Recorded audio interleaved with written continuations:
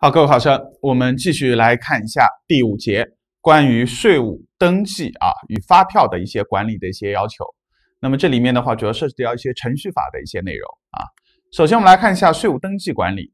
那么税务登记管理呢，主要是指的是税务机关啊对纳税人的呃一些生产经营活动进行登记，并据以对纳税人实施一些管理的啊一些法定的制度，我们叫做税务登记。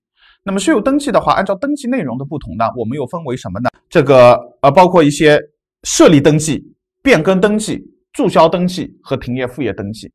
那么这些呢，都是属于我们税务机关对于纳税人实施税收管理的一些重要的一些工作啊和环节，是征纳税双方呃法律关系成立的依据和证明，也是纳税人啊依法必须履行的一些法定义务。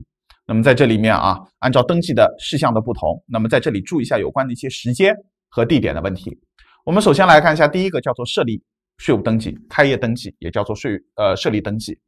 那么在这里面要注意一下，谁去设立，谁去登记，什么时候登记，到哪里去登记的问题了。首先第一个，从事生产经营的纳税人，也就是说，你只要是从事生产经营的，那你要办理什么税务登记了，领了营业执照了。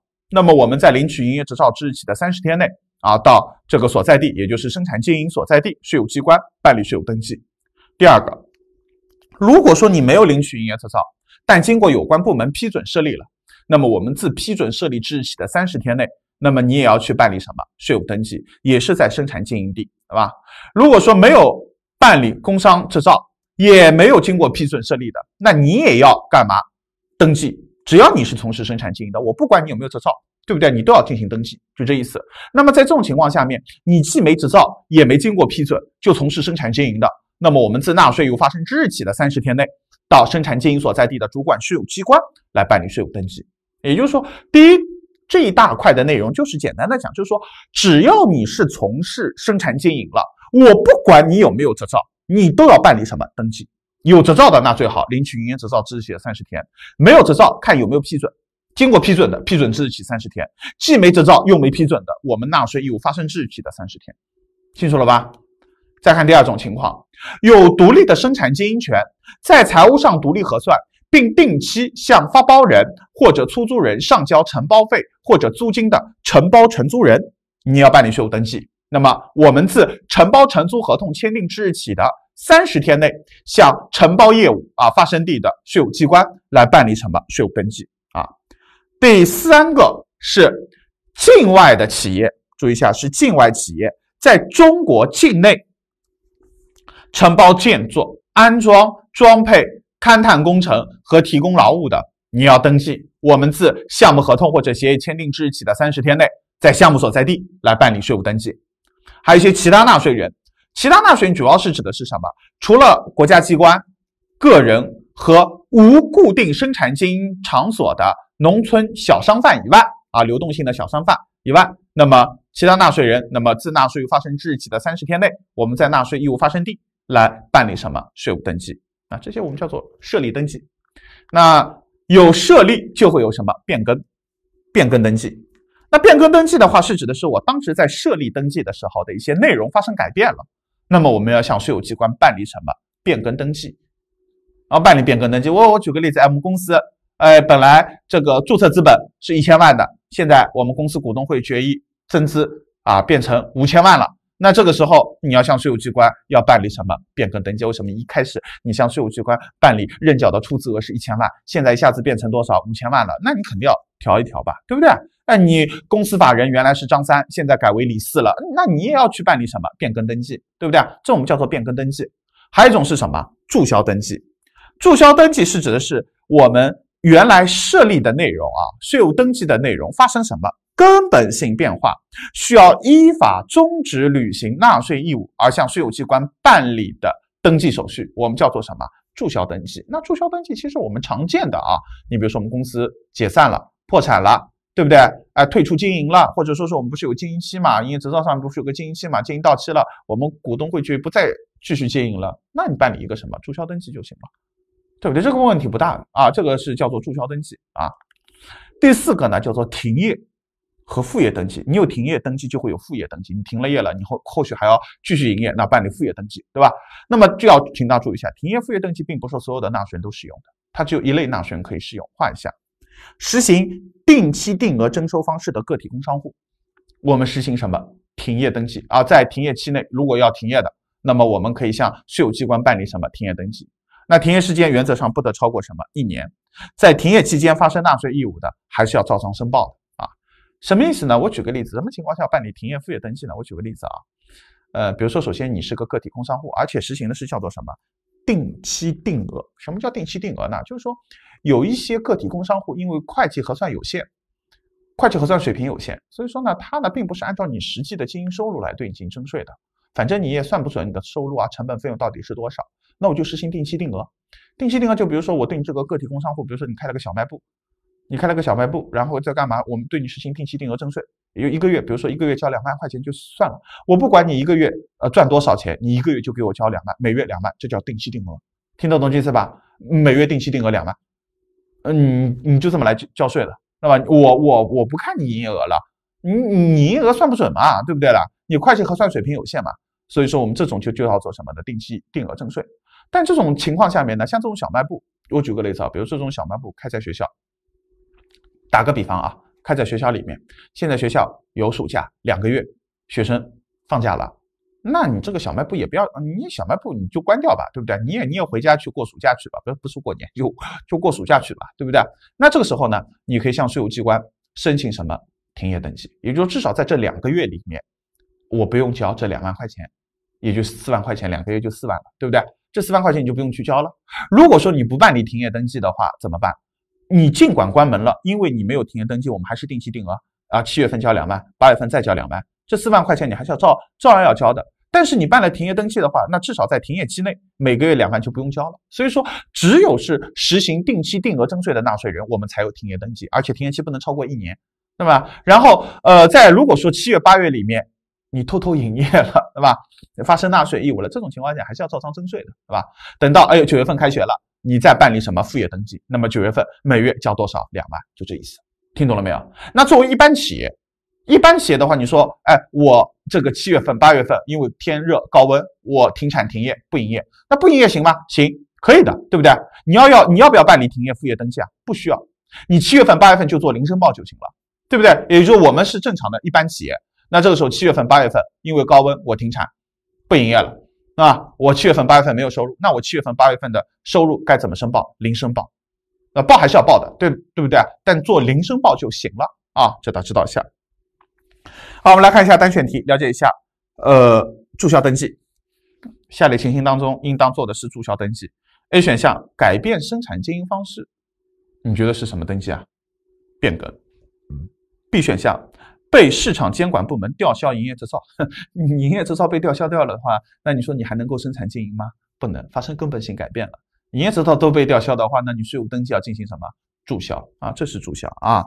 C 选项，纳税人改变名称的啊，张三公司改为张四公司、张五公司，你实体还没有发生改变，那做什么变更登记？D 选项，纳税人改变住所和经营地，没有涉及到主管税务机关变更的啊，也就是说未改变原主管税务机关的。那比如说我们公司啊这个搬迁了，但是呢呃新址还是这个机关来进行管辖，那这个时候我们做的是什么变更登记？但是我说一下这个 D 选项啊，呃我我举个很简单的例子啊，比如说我们公司啊原来是注册在哪里啊？北京海淀的啊，比如说北京海淀中关村，是吧？现在搬到哪里去了呢？啊，搬到朝阳三里屯，啊，北京反正就这几个大地方，好吧？呃，这个时候我们变的登记，请大家注意一下，这个是要做注销登记和开业登记了。什么意思？原来我们公司呢是注册在北京市海淀区，那么拿到营业执照之后的三十天内，在海淀区税务机关那里办理什么税务登记，这是开业登记、开立登记了，对不对？那么现在，呃，我们要搬迁了。公司注册地址从原来的海淀区中关村挪到哪里呢？挪到了朝阳区三里屯。那这个时候，我们的税务机关不再是海淀区的税务局了，而是谁呢？朝阳区税务局，对吧？那这个时候，我们要在海淀那里做的是什么？注销登记，然后在朝阳再做什么？开业登记，清楚了吧？啊，但是你说公司地址搬迁了啊，这个搬到哪里？搬到魏公村了啊，从中关村搬到魏公村。中关村搬到魏公村，比如说像我们冬奥，冬奥它的办公地址就在魏公村啊，我去过。然后呢，魏公村往北那就是什么三里屯海淀黄庄那里嘛，不是三里屯啊，这个啊不是三里屯，就是那个中关村了嘛，海淀黄庄那里嘛，这些都是属于海淀区的，对不对？你说我原来公司就是注册在哪里啊？中关村海淀黄庄那里的，现在搬到哪里啊？搬到魏公村啊，冬奥旁边去了。那这时候主管税务机关还是哪里？还是海淀区？那这种情况下面的话，我们呃办的是什么？变更登记啊，我们办的是变更登记了啊，这大家知道一下。好，我们再看第二个发票管理。那发票管理的话呢，啊，我们了解一下啊，呃，增值税的专用发票啊，我们常见的专票啊，由国务院税务主管部门指定的企业印刷。那其他发票，那么呃，跟按照规定，由省级税务机关指定的企业来进行印刷。没有经过税务机关的指定，不得印制发票，因为发票很特殊，对不对？它是属于呃相应的我们纳税凭证啊，这个相应的一些相应的我们的会计凭证啊，这个发票你不能乱搞，尤其是这种专票，专票还考虑到一个抵扣的问题，所以说我们专票的话都是总局指定的企业来进行印刷的。其他发票啊，像一些普票啊、一些定额发票啊等等一些其他啊发票的话呢，我们是由这个省级税务机关指定的企业来进行印刷。第二个，呃，需要领购发票的单位和个人，应当持税务登记证件、经办人身份证明，按照呃国家有关规定的样式的发票专用章和的一些印模，向主管税务机关啊办理发票领购手续。主管税务机关根据领购的单位和个人的经营范围、规模啊，认购发票的种类、数量和领购方式，在五个工作日内发给一个叫做发票。领购本啊，发票发票领购本其实现在都还有，对吧？也就是说，比如说我现在办理了税务登记了，我们公司开业了，办了税务登记了，那这时候在办理税务登记的同时呢，你再买一本这个，你再做一个啊发票领购本，也就根据你企业的整体的经营范围和规模，你预计的，比如说你每个月开票开多少，我给你比如说增值税发票的一个种类数量。啊，以及领购的方式，那领购方式我们也可以直接到税务大厅里面领购，现在也可以在网上税务局来进行领购的，对吧？这大家知道一下。以前的话就是说，以前我告诉你，以前嗯到税务局去买发票的话，一个发票领购本一定要带着的，然后嘛还有什么发票专用章，对吧？然后嘛每次嘛旧的发票要带过去交旧验新嘛，然后再去买新的发票，对吧？这大家知道一下啊。第三个，需要临时使用发票的单位和个人，我们可以凭。嗯，这个购销商品、提供或者接受的服务，以及从事其他啊经营活动的一些书面证明、经办人身份证明，直接向当地的啊经营地的税务机关啊，向经营地的税务机关来申请代开发票啊，这是临时的嘛，就代开了，对不对？那么根据有关规定，应当缴纳税款的税务机关，应当先征收税款，再开具发票。税务机关根据发票管理的需要。可以按照总局的有关规定，委托其他单位代开发票，禁止非法代开发票。啊，再看第四个，临时到本省啊、直辖市啊这个自治区、直辖市以外啊从事生产经营活动的单位，应当凭所在地的税务机关的证明，向经营地的税务机关来领购发票啊。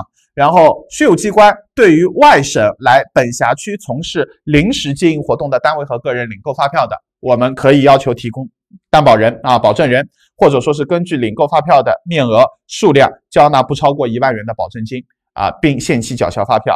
按期缴销发票的，那么要解除担保人的担保义务或者退还保证金；没有按期缴销发票的，由担保人或者说是以保证金承担相应的法律责任啊。它强调是临时。那比如说我们公司注册在北京，临时到上海生产经营了，那这种情况下面，既然是临时的，那你这个时候基基本上我们在北京当地开具相应的证明，然后在上海经营，然后在上海税务机关领取发票，在上海开票的是这意思。但是你说我长期在上海经营了，那你基本上就在上海找个地方来进行注册，哪怕注册一个分公司也好的，对不对？第五个，除总局规定的特殊情形外，发票。呃，限于领购单位和个人在本省范围内开具，也就是我们发票的话，请大家注意一下，空白发票是不能够带出境的，啊，带不能够带出辖区，什么意思呢？你看一下第六点，就是说，除了有规定外，任何单位和个人不得跨区使用啊这种呃跨使用区域携带邮寄运输什么发票呢？空白发票，禁止携带、邮寄、运输空白发票出入境。也就是，比如说我们公司注册在北京，然后我在北京当地的税务机关领取了发票了。购买发票了，那这个你当时拿买的发票都是空白发票，都是新的发票，对吧？新的空白发票，这个时候请大家注意一下，你这个发票是在北京领购的，那你只能在北京填开，这是要求。你要带出北京市范围的话，必须是填开好以后的发票，你才能够带出去。你不能够把这个在北京领购的这种新的空白发票带出北京市下去玩，这是要求啊。第七个，呃，发票。开具发票的单位和个人，应当按照税务机关的规定来进行存放和保管发票，不得擅自损毁。已经开具发票的存根联和发票登记本，应当保管几年呢？五年。保管期满后，呃，报税务机关呢啊查验后销毁。啊，我们现在我说一下，现在我们发票已经没有存根联了，我们现在都是机开发票嘛。嗯，以前手写发票是有存根联的，机开发票是没有存根联的。因为机开发票的话，你增值税发票，也就是说正常的增值税发票就三联，发票联、记账联、抵扣联。发票联、抵扣联是给对方的，我们记账联拿拿发票记账就行了，就一联就行了，没有存根联。你普票也就两联，记账联和发票联，就少了一个抵扣联而已。你你公司自己要做账，留记账联给客户发票联。就就这么回事，现在已经基本上没有什么存根联这个说法了，对吧？现在机开发票都没存根联的，对吧？你你要你要你要存这个，我们金税系统里面都有开票记录的，你自己去导出来就行了，也就不存在一个存根的问题了啊，这大家知道一下。我们来看一下第六节，那么第六节的话，主要讲的是关于纳税的申报和税款的征收的问题。那么首先来看一下纳税申报，啊，谁去申报？也就是我们所讲的纳税申报对象。呃，包括什么？负有纳税义务的单位和个人，包括临时取得应税收入和发生应税行为的个人，享有减免税待遇的纳税人和扣交义务人。也就我们讲了啊，负有纳税义务的单位和个人以及扣交什么义务人。那么在这里面，你临时取得应税收入的，你也要进行申报；你享受减免税待遇的，你也要申报。所以说，在第二点里面，在纳税期内你没有应纳税款的，我们也要按照规定进行纳税申报，就是零申报。对不对？你说我享受增值税减免税优惠待遇的，我们也要进行什么申报？对不对？比如说我举个例子，比如说小规模纳税人，小规模纳税人如果说按月申报，现在啊按月申报不超过十五万，按季申报不超过四十五万的，我们是什么呢？免征增值税的，对不对？那么在这种情况下面啊，我现在一个季度，比如说我三季度我开票金额只有四十万，没有超过四十五万，我是免征增值税的。那我我再，但是你说要申报吗？还是要申报的，对不对？还是要申报啊，免税的也要申报。你说我三季度我零收入要不要申报？要，也是什么？也要申报，零申报啊。申报内容的话呢，就是看你具体的税种啊，具体的按照申报表的要求来进行填报就行了，对吧？申报方式有直接申报、邮寄申报和数据电文申报。直接申报呢，就是你自己到办税大厅里面去纸质申报了，对吧？呃，现在基本上有吧，有的，但很少啊。呃，只有是在你企业注销的时候，我们才啊直接进行申报了，对吧？你注你注销要清清算嘛，那清算的时候有个清算所得嘛，那这时候你直接进行申报了。呃，邮寄申报，呃，一些偏远地区还有，对吧？数据电文申报就我们我我们现在基本上都是什么网上申报，就是用数据电文申报啊。然后再看第四个延期申报的管理，那么纳税人因为有特殊困难不能按期申报的，那么经过县以上的税务机关的核准可以延期。那么，应当在规定的期限内向税务机关提出书面的延期申请，经税务机关审核，在核准啊，在核准的期限内来办理。经过延期办理纳税申报的，那么应当呃在纳税期内按照上期实际交纳的税额，或者说是税务机关核定的税额来进行什么呢？预交。那么，并且呢，在延期内办理纳税的结算。什么意思呢？我举个例子啊，比如说你八月份的税应该是在九月十五号之前要进行申报的，但是因为呃种种由于种种原因，我现在九月十五号之前没有办法进行申报，那这个时候呢，我向税务机关呢，县以上税务机关呢书面申请，我要晚一点。那税务机关如果说核准同意的话呢，比如说税务机关说本来说是九月十五号是最后一天，对不对？那行啊，我让你九月二十号作为最后一天申报。那税务机关核准之后，那是这么说的，那么也这个就叫做延期了。那至少的话，延期的话呢，会有你一笔预交税款。那预交是怎么预交的呢？由税务机关核定，你先交一笔钱吧，对不对？或者说是你按照七月份的增值税，对吧？七月份的税来预交一笔上期的实际交纳的税款来预交一笔。等到九月二十号之前，你办理纳税申报之后，算出结清应纳税款之后，按照你预交税款多退少补就行了啊，这大家知道一下。我们来看一下多选题，呃，下列属于纳税申报的对象啊？A 选项，呃，代扣代交义务人有的，享受减免的纳税人也要申报的啊。C 选项，呃，应纳税期内没有应纳税款的纳税人要不要报？报，零申报。D 选项，享受免税的纳税人要不要报？也要报的啊。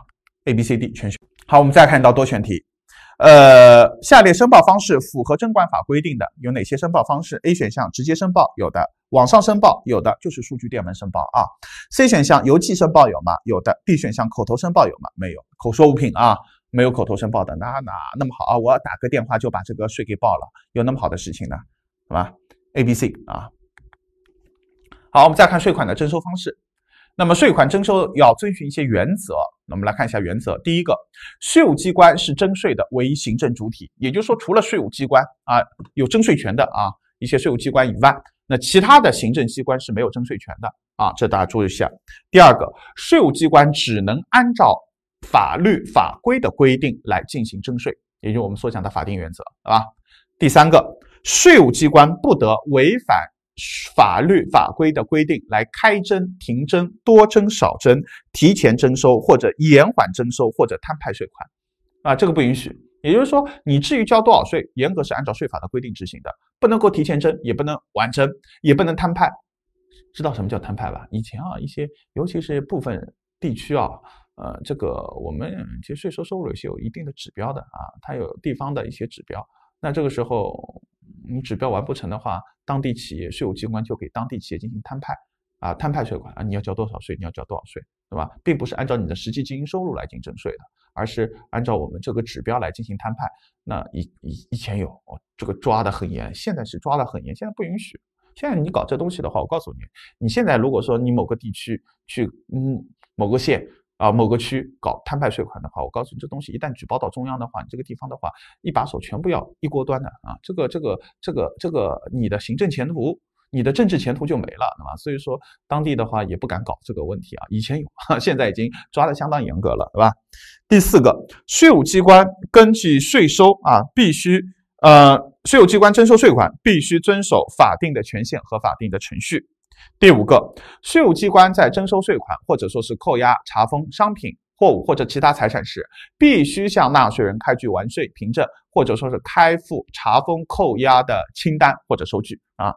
第六个，税款、滞纳金、罚款一并由税务机关上交国库。第七个，税款优先，也就是在一般情况下面，税收要优先于无担保的债权，纳税人发生欠税在前的。那么税收要优先于抵押权、质权和留置权的执行，而且税收要优先于什么？罚款、没收非法所得。这个我们在讲合同法啊，在 CPA 经济法里面的合同法、破产法里面，我们都会遵循这个原则，就是看你这个税收收入到底是在前还是在后的啊，这是。有一些优先原则嘛，你比如说你让企业破产，那企业破产清算的话，第一个清算，第一个先还的是什么？先还的先支付的是职工工资啊、社保，然后是清算费用，然后呢，如果说是啊欠税在前的，那么这个税款优先，然后再是一些什么有担保的、无担保的债权等等，是吧？这大家知道一下。好，我们再看税款的征收方式。那税款征收方式的话呢，我们经常会。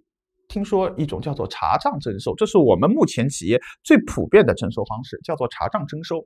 什么是查账征收呢？它就是说，税务机关按照纳税人提供的账表所反映的经营情况，依照适用的税率计算交纳税款的方式，我们叫做查账。简单的讲，你们告告诉各位，什么叫查账征收？我们其实我告诉各位啊，呃，查账征收的话，原则就是什么原则？就是说你自己做账，自己报税。报完税之后，税务机关觉得你这税有问题的，怀疑你的，怀疑你报税的金额的，我们在税务机关再反过来再来查你的账，那这种我们就叫做查账征收，听得懂这意思吧？那么一般是适用于什么呢？适用于这个呃企业会计制度较为健全，能够认真履行纳税义务的单位，那么我们一般用的是查账征收。除了查账征收以外的其他的征收方式，我们统称为什么？核定征收。我们很多情况下面都称之为核定，这种核定包括查定、查验啊、定期定额啊，这些我们都可以把它叫做核定征收啊。所以说，我们尤其是在企业所得税里面，我们企业所得税一般情况下面都叫做查账征收，剩下来的叫做核定征收，对吧？那么核定征收里面呢，我们有几种方式，其中一种呢叫做查定征收。什么是查定征收呢？是指的是税务机关根据纳税人的从业人员、生产设备啊采用的原材料等情况，对其生产的应税商品采用的是啊查实核定产量啊销售额啊。并据以征税的方式，也就是说查实核定产量的，那叫做什么查定征收啊？那么一般适用于什么账册不健全但能够控制原材料或者进销存的单位。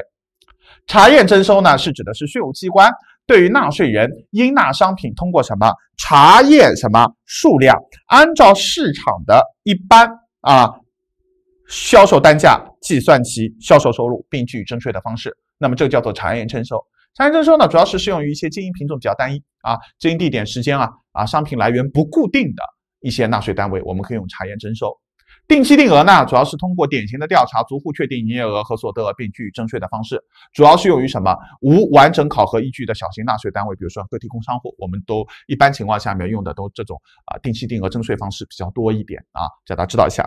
另外一个就是委托代征，那么委托代征的话，主要是税务机关委托代征人以税务机关的名义来征收税款，并将税款交入国库的方式，那么主要是适用于一些小额零散的税源征收，比如说像我们的车辆购置税。我们税务机关呢就委托啊车管所来进行什么代征，我们的这个车船税，那么就税务机关就委托保险公司来进行代征了，对吧？大家知道一下。那么我们来看一下啊，多选题，呃，符合征管法规定的征收方式有哪些啊？这基本上 A、B、C、D 都是啊，你看一下 A 选项，呃，税务机关通过典型调查逐户确定营业额并据征税的方式，那这是属于什么？这个定期定额，对吧？B 选项，税务机关按照纳税人提供的账表所反映的经营情况，按照适用的税率计算。啊，交纳税款的方式，这是查账征收，对吧？C 选项，税务机关对纳税人的应纳税商品通过查验数量，按照一般销售单价来计算其销售收入，并计税啊，并据征税的方式，这是什么？查验征收。D 选项，税务机关根据纳税人的从业人员、生产设备、原材料等因素，对其生产的啊应税商品实行啊这个查实核定产量、销售额，并据以征税的方式，这是查定征收啊，这边都知道一下啊。A、B、C、D 全选啊，呃，在专题里面的最后一节，我们主要是涉及到行政处罚和行政复议的内容。那对于行政复议的话，其实我们在初级职称里面我们是讲过的啊。我们对于一个行政复议的范围啊，这我们是讲过的。那我们来看一下，首先了解一下有关的一些行政处罚。那么行政处罚呢，是指的是公民、法人或者组织有违反税收征管秩序的一些法律行为，但没有构成犯罪。那么依法承担行政责任的，那么由税务机关给予什么呢？行政处罚啊，初犯我们是不会构成犯罪的，尽管你金额特别大，那么我们是什么不构成犯罪啊？我们什么情况下我们构成涉税犯罪啊？就说屡教不改，对吧？不是初犯啊，屡教不改。而且是金额特别巨大的，那基本上你倒了霉了，你这个时候就要触犯刑法了，对吧？就要承担相应的刑事责任了。所以说，你说像冰冰爽爽，对吧？那这种情况下面的话呢，因为是初犯，我们就不构成犯罪，那你要干嘛啊？承担相应的行政处罚，就罚款嘛，那罚个罚个几个亿嘛，反正他们也有钱，对吧？我们如果说是几个亿的话，如果说税务机关让我罚二点九九个亿的话，我明天就上吊，对吧？这个东西拿不出来啊。对吧？这个这个你让我怎么罚呀？对吧？你让我呃，当然了，谁让你违法的，对不对？那如果我不违法的，呃，这个如果我不违法的话，也不可能有二点九九个亿的罚款，是吧？是不是这意思啊？所以说这个知道一下啊。那么行政处罚的原则，那么有几个原则，包括法定原则，呃，公正公开原则，以事实为依据原则，是吧？然后是啊，过罚相当原则，处罚与教育相结合，那么监督制约啊等等的这些原则。那来看一下有关的行政处罚的设定和种类啊，这要了解一下。税务机关及其下级的税务机关制定一些规范性文件，那么在法律法规规章给予的行政处罚啊，给予一定的行政处罚行为种类、幅度范围内作出具体规定。那么这是呃是一种执行这个法律法规规章的行为啊，不是对于行政处罚的一种什么设定。这首先要知道一下啊，一些规范性文件。那规范性文件也就是相当于一些红头文件，对吧？啊，那么我们按照什么？按照有关的法律法规规章的行为，那么做出一些具体的规定，这个不属于设定啊。这个首先要讲清楚，这不叫设定。设定的话，只能在哪里设定？设定只能在法律法规呃这个规章里面来进行设定。规范性文件呢，我们不做设定，只是对于这些内容做出一些具体的表述啊，划分范围。那其实这个不算设定啊，这大家知道一下。那么对于设定，由谁来设定？设定哪些处罚？我们来了了解一下。首先一个全国人大及其常委会。那么全国人大及其常委会设定的是什么法律？那我们叫做税收法律嘛，对不对？那么请大家注意一下，法律我们在这里面是没有任何限制的，也就是说可以制定任何种类的行政处罚。在法律，因为它层级很高，对不对？法律是最高层级了，所以说在这种情况下面，法律里面设定的行政处罚的种类我们是没有限制的，你可以制定任何的行政处罚。第二个，国务院。国务院制定的是税收什么法规？那么，请大家注意一下，在行政法规里面，我们设定的行政处罚只有一个除外，什么？限制人身自由。除了限制人身自由以外，剩下来的行政处罚都可以设定。啊，也就是说，我们国务院制定的税收行政法规里面，除了设限制人身自由以外，我们其他的都可以制定。啊，这是一个。第三个，总局。那总局的话，是国务院各部委制定的是税收什么规章？那么规章里面，我们主要设定的是什么？警告和罚款啊，警告和罚款。那么罚款我们有上限的，我们总局规定了上限。我们来看一下罚款的上限，在非经营活动里面，我们罚款是不能够超过多少？一千块钱的，不得超过一千，小于等于一千元，是吧？第二个，在经营活动当中有违法所得的，在经营活动里面怎么看？有没有违法所得啊？有违法所得的，那么我们设定的罚款是不能够超过违法所得的几倍啊？三倍。且最高不得超过多少？三万啊！没有违法所得的，我们罚款不超过多少？一万。所以说，在总局制定的规章当中，我们可以设定罚款。那罚款有上限，怎么上限？看第一个是不是经营活动，非经营活动的罚款不得超过多少？一千。经营活动的罚款，我们要看有没有非法所得。如果说没有非法所得，不超过一万；有非法所得的，不得超过非法所得三倍，且最高不超过三万。啊，就这意思。所以说，你看一下一零年曾经考过一道多选题，关于行政处罚的设定表述正确的。A 选项，总局对于非经营活动处罚不得超过一万呃一千元，没问题。B 选项，总局对于非经营活动罚款不得超过五千，不对。呃，C 选项，总局对于经营活动没有违法所得的罚款不得超过多少？一万。D 选项，在经营活动里面有违法所得的，经营活动有违法所得的罚款不得超过什么？三倍，且最高不超过多少？三万。啊，所以说正确的选的是 A、C、D 啊，选的是 A、C、D。那这种东西的话，这种常识性的东西听一听嘛，对吧？啊，记嘛也不需要你花很多时间去记忆，尽管要求掌握，但是呢，记呢也不需要花你很多的时间和精力的，对不对？基本听一下就行了。那么税务行章呃行政处罚的种类呢，一个是罚款，那前面已经讲了罚款的上限。那么除了罚款以外呢，我们还有一些没收财物啊、非法所得，然后停止出国退税权，以及总局呃法律法规规章制定一些行其他的一些行政处罚啊，这大家知道一下。那来看一下多选题，属于我国税务行政处罚的种类的 A 选项罚款有吗？有。B 选项滞纳金有吗？没有。C 选项停止出口退税权有吗？有。收假发票、暂停供应发票没有啊？选的是 A 和 C 啊，选的是 A 和 C。好，我们再来看一下有关的行政复议的内容。行政复议其实在我们初级职称当中应该讲过，对不对啊？那我在这里复习一下，相对我们复习一下啊。行政复议呢，主要是指是当事人不服税务机关或者工作人员做出的具体行政行为不服的，那么我们向上级税务机关提出申请。那么复议机关，呃，经过审理，对原税务机关的具体行政行为作出维持、变更、撤销等决定的活动，我们叫做什么？行政复议，对吧？那么对于行政复议还不服的，我们可以提出什么？行政诉讼。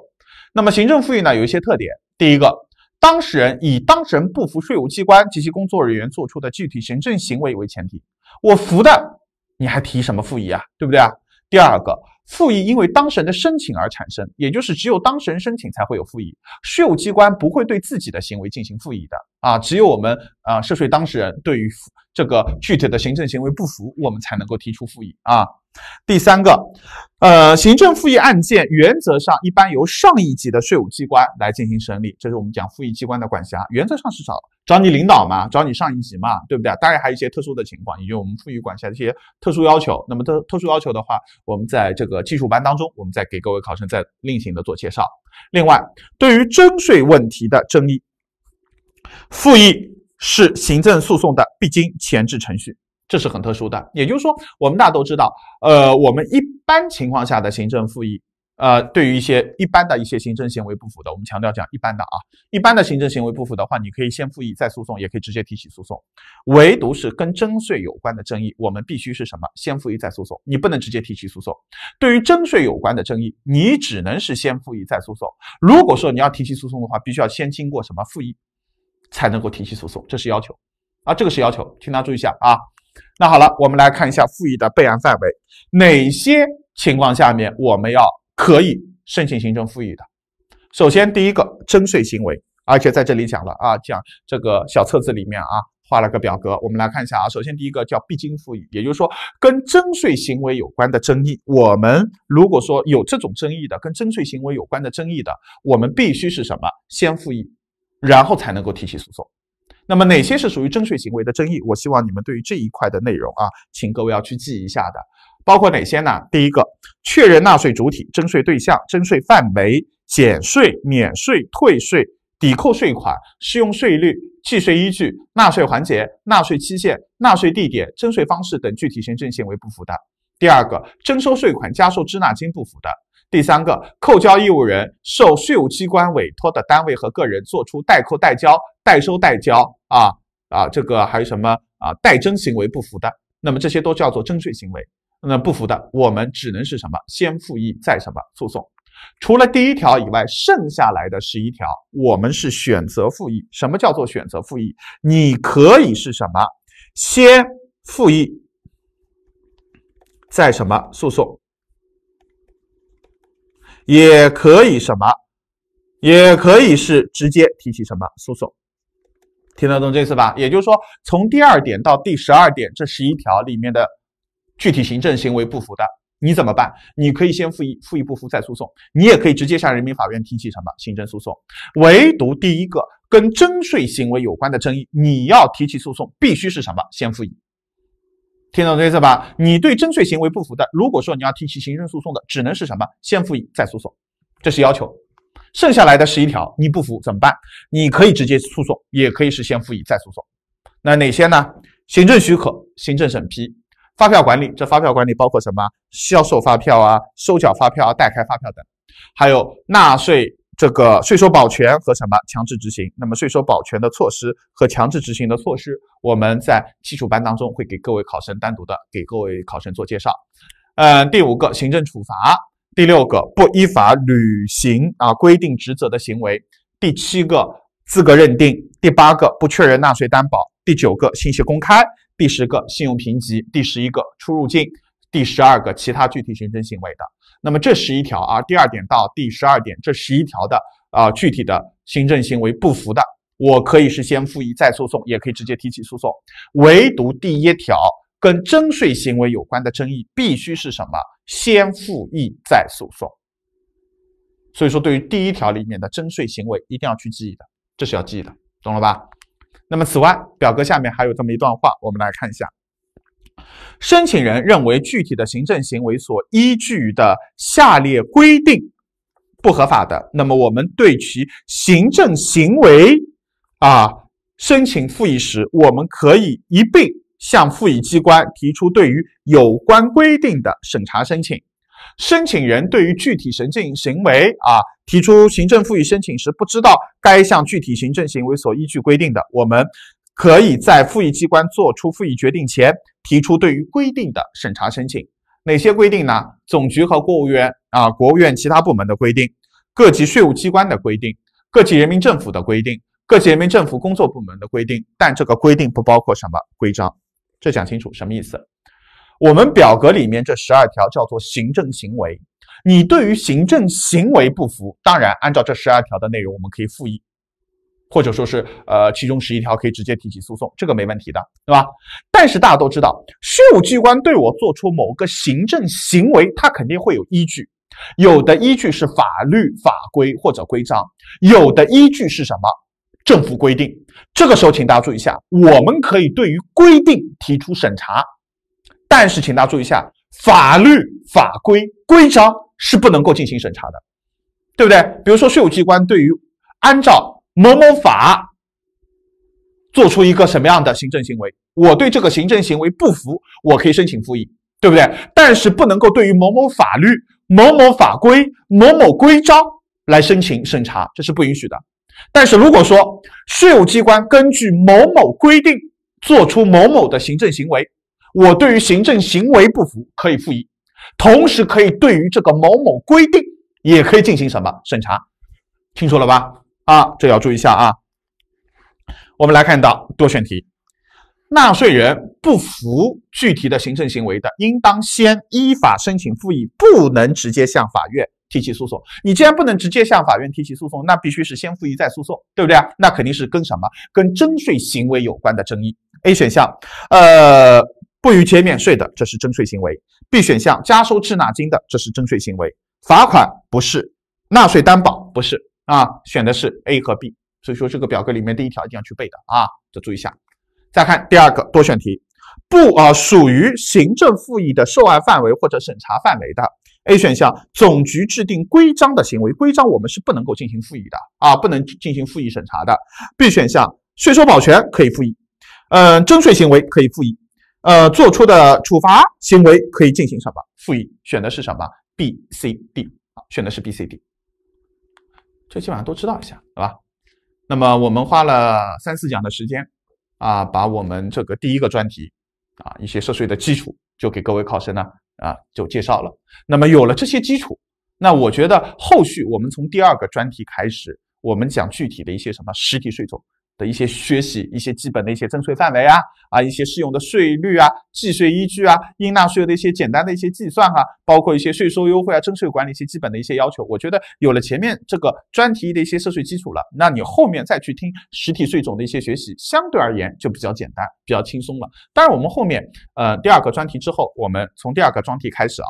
我们学这些实体税种的话呢，也是讲一些比较基本的一些原理。你讲多了，那就变成基础班了，也没这个意义，对不对？你后面还要呃等新教材出来以后，三月份我们再有真正的基础班去上线。那么后面这些专题主要是对于零基础的一些考生，我们要补充一些涉税的一些原理啊，一些涉税的基本原理以外，还有一些实体法的一些基本的一些概念性的东西，要一点点的啊，稍微的做预习阶段的一些学习。那么第一个专题啊，我们涉税基础就给各位考生。介绍到这。